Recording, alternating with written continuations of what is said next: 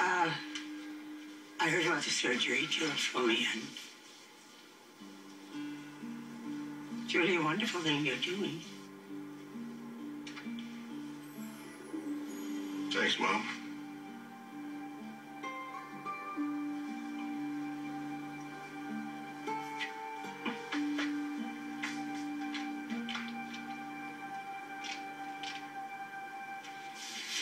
I just got invited to go to Dallas with you two. And I'm guessing you had something to do with that. That's uh, completely Devon's decision. Well, it just means a whole lot if you ask me.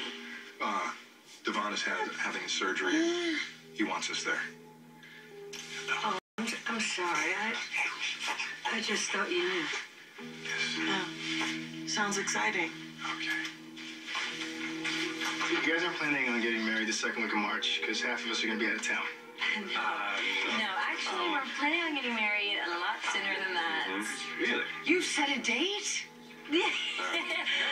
yeah. Um, all right, well, You ready? we're getting married on Valentine's Day. Perfect. It's a good day. Oh, that's the perfect day. Oh, great. See?